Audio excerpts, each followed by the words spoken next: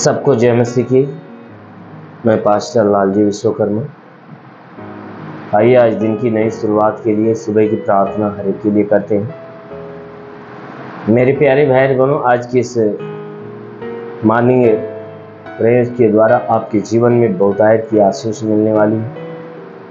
क्योंकि हमारा परमेश्वर जो स्वर्ग में विराजमान है, वो हर एक के हर एक मनुष्य के जीवन में अद्भुत कामों को प्रकट करना चाहता है। और जो अपने अद्भुत कामों को प्रकट करता है, अपने वचन, अपने शब्दों के द्वारा, जो कोई उसके वचनों को ग्रहण करता है, अपनाता है, परमेश्वर अपने राज्य की आशीष से उसके जीवन में प्रकट करता है। इसलिए मेरे प्यारे भाई बनो आइए इस वचन को देखते हैं।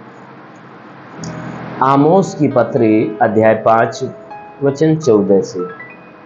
आमोस की पत्री, अध्याय पाँच। वचन चौदह से आइए देखते हैं। हे लोगों, बुराई को नहीं, भलाई को ढूंढो, ताकि तुम जीवित रहो। और तुम्हारा यह कहना सच ठहरे कि सेनाओं का परमेश्वर यहोवा तुम्हारे संग है। तुम्हारा यह कहना सच ठहरे कि सेनाओं का परमेश्वर यहोवा तुम्हारे संग है।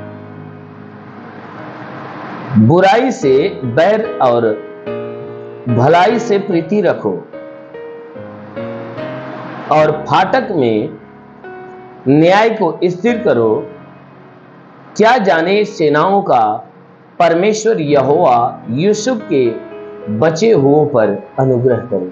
हमें हालेलुया मेरे प्यारे भाई बनो यहाँ परमेश्वर का वचन हमें बताता है।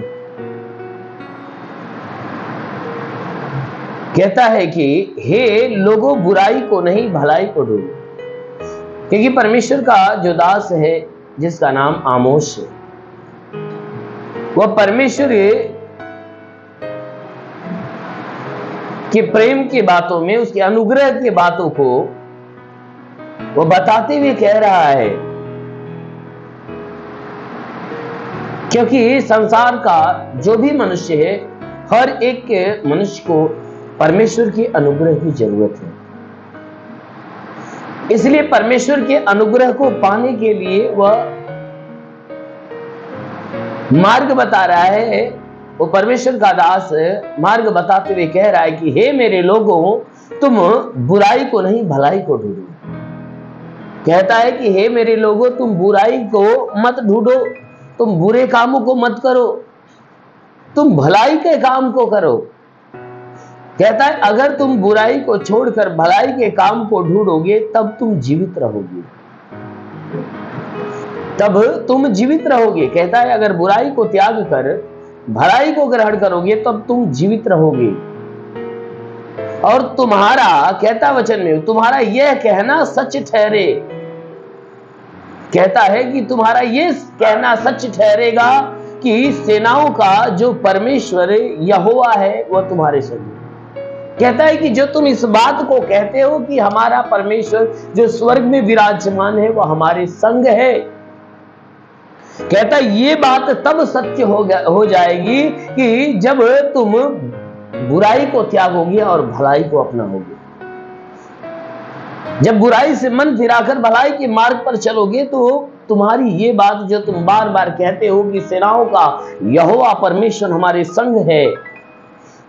तो ये बातें जो तुम कहते हो, ये बातें तुम्हारे लिए सत्य हो जाएगी कि हमारा परमेश्वर हमारे संग है। सच में वो परमेश्वर जब तुम्हें बुराई से फिरकर भलाई की तरफ़ चलते हुए और भलाई के कामों को करते हुए देखेगा तो तुम्हारे ऊपर अनुग्रह वर्ष आएगा और वह तुम्हारे अंदर आएगा।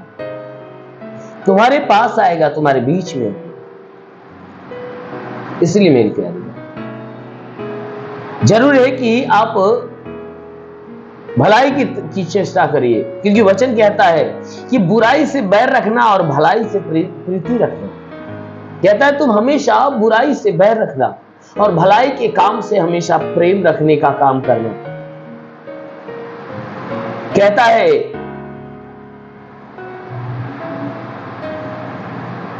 कहता है, बुराई से बैर, भलाई से प्रीति और फाटक में न्याय को स्थिर करो। कहता है कि फाटक में न्याय को स्थिर करो। कहता है कि वह न्याय जो तुम्हारा होने वाला है, कहता है उस न्याय के कामों को स्थिर करो। इस बात के लिए कि तुम तुम तुम जो है कि स्वर्ग में प्रवेश करोगे या नरक में प्रवेश करोगे। कहता है कि वह न्याय वाला जो काम है, उसे स्थिर करो। तो कहता है कि न्याय वाले काम में स्थिर करने के लिए कहता है कि जे क्योंकि परमेश्वर ये चाहता है कि तुम नरक में नहीं परंतु स्वर्ग में प्रवेश करो। तो स्वर्ग में जब तुम जाने की इच्छा रखते हो तो कहता है अगर स्वर्ग में जाना है तो बुराई को छोड़ना और भलाई को पकड़ना है। अगर ऐसा काम करोगे तो, तो तुम्हारा न्याय स्थिर हो जाएगा तुम्हें यह पक्का हो जाएगा कि हम मरेंगे तो स्वर्ग में जाएँगे। अवश्य है कि मरेंगे तो स्वर्ग में जाएँगे। और जो कोई व्यक्ति परमेश्वर की सुनता और मानता है, अवश्य है कि उसे विश्वास होता है कि हम मरेंगे, स्वर्ग में जाएँगे। यानी उसका जो न्याय है, वह स्थिर हो गया होता है। कहता है कि भाई, क्या जाने कि परमेश्वर के जितने लोग हैं, परमेश्वर का अनुग्रह उनके ऊपर उतरे। जब तुम बुराई को त्याग कर, भलाई का मार्ग पकड़ोगे तो हो सकता है कि परमेश्वर का अनुग्रह तुम्हारे ऊपर उतरे और तुम पर दया करके तुम्हें, तुम्हारे पापों से क्षमा करे, तुम्हें छुटकारा छुटकारा दे और तुम्हें स्वर्ग के, स्वर्ग का राज्य दे। हमें हालेलुया मेरे प्यारे भाई बनो हमारा परमेश्वर महान परमेश्वर महिमा से भरा हुआ है, आदर से भरा हुआ है। इसलिए ज़रूर है कि आप उसके ऊपर विश्वास करें। वो आपको स्वर्ग का राज्य से आइए आँखों को बंद करिए। आज सुबह की प्रार्थना आप सभी के लिए करते हैं। ज़रूर कि इस प्रार्थना के द्वारा आपके जीवन में कुछ नया होने जा रहा है। आइए आँखों को बंद करिए। ओ महान परमेश्वर, तेरा धन्यवाद महिमा करता, आदर मेमा तुझे देते पिता प्रार्थना करता, स्वर्ग और पृथ्वी का मालिक है। तू राजाओं का राजा, अनुग्रह करने वाला प्रभु है। वो महान परमेश्वर स्वर्ग से अपने लंबे छेदे हुए खून से लगभग घायल हाथों को बढ़ा ताकि जितने लोग इस प्रार्थना को सुन रहे प्रभु, हर एक को तेरा स्पर्श होने पाए। हर एक को तेरा स्पर्श हो जाए। हाँ मेरे महान परमेश्वर प्रार्थना मेरे महान प्रभु, हम प्रार्थना करते पिता, हर एक के जीवन का उद्धार, हर एक के जीवन का कल्याण होने पाए। जितने लोग इस प्रार्थना को सुन रहे प्रभु, उनके जीवन में अलौकिक काम होने पाए। जितने बीमार लोग सुन रहे प्रभु, उनकी बीमारियाँ जाने पाए।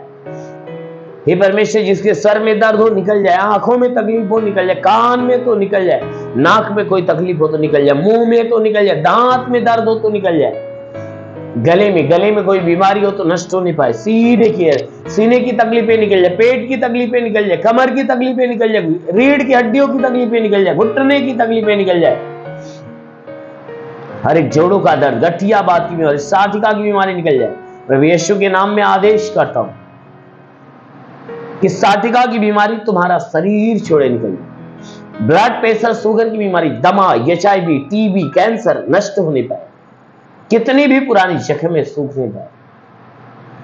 कोई दर्द हो, पीड़ा हो, नष्ट हो वो महान परमेश्वर प्रार्थना करते तो अलौकिक काम करने वाला प्रभु है। हे परमेश्वर, इन्हें छू और इनके सारी बीमारियों से इन्हें छुटकारा जिसके शरीर में ब्लड नहीं बनता मन लकवे का बीमार चंगा होने पर। जिसका लीवर खराब हो, चंगी, चंगा हो जाए, जिसका किडनी खराब हो, चंगा हो अपेंडिक्स हार्निया की बीमारी फाइलेरिया थायराइड नष्ट हो जाए। जुकाम, खांसी, बुखार निकल जाए टाइफाइड मलेरिया उल्टी दस्त की पेचिस बढ़ना बंद हो जाए, किसी भी प्रकार के चर्म खाद चिड़िया नष्ट किसी भी प्रकार के दाग धब्बे, सफ़ेद दाग पीलिया स्नोफीलिया बीमारी, लहू पाने की बीमारी निकल जाए जिसके पास कोई संतान नहीं, परम पिता परमेश्वर ने संतान दे। प्रभु यीशु के नाम में आदेश करता है, जिसके पास संतान नहीं, परम पिता परमेश्वर उन्हें संतान की आशीष दी। प्रभु यीशु के नाम से आगे जिसके शरीर में दुष्ट आत्माएँ निकल जाए, दुष्ट आत्माएँ निकल जाए। हाँ मेरे महान परमेश्वर, प्रार्थना करते इनके जीवन में, इनके घर में, इनके परिवार में आशीष। इनके रोजी रोज़गार काम धंधे बिज़नेस व्यापार में आशीष बढ़ोतरी, बरकत हो, घर में शांति, परिवार में शांति। जिसके पास रोज़गार नहीं, रोज़गार मिले, नौकरी नहीं, नौकरी मिले, जो गरीबी के श्राप पे छुटकारा पाए, जो कर्ज में कर्जा अदा हो जिसके पास घर नहीं, घर हो जाए, चलने का साधन नहीं, चलने का साधन हो। हाँ मेरे महान परमेश्वर, प्रार्थना करते हुए परमेश्वर, जितने लोग इस प्रार्थना को सुने प्रभु उनके जीवन में एक नया चमत्कार होने का लिवरे रबा अबल अबा सिंधी शबल अबा सख वरंद अबा सिंधी जितने लोग प्रार्थना को सुन उनके लिए नया होने जा रहा है। रिसीव करो आशीष को, आपके जीवन एक बड़ा चमत्कार होने जा रहा है। तो महान परमेश्वर ऐसा होने दे। प्रार्थना करता पिता। जितने तेरी सेवा करने वाले उनके सेवकाय की छत्र पे आशीष देता कि उनकी कलिशियाएँ बढ़े। उनके द्वारा बड़े बड़े चिन्ह चमत्कार प्रकट होने पाए। तेरी सेवकाई बढ़ने पाए। हाँ मेरे प्रभु वे तेरे राज्य की वारिश बने जितने भी प्रार्थना सुने प्रभु, उनके लिए हे परमेश्वर, तेरे स्वर्ग का अनुग्रह मांगते। तेरा साथ इनके साथ, तेरा हाथ इनके सर पे बनाए। अनुग्रह शांति से भर दे प्रभु, यीशु के नाम में मांगते हैं। हाँ मैन हमेशा को आशीष दे। गॉड ब्लेस यू धन्यवाद।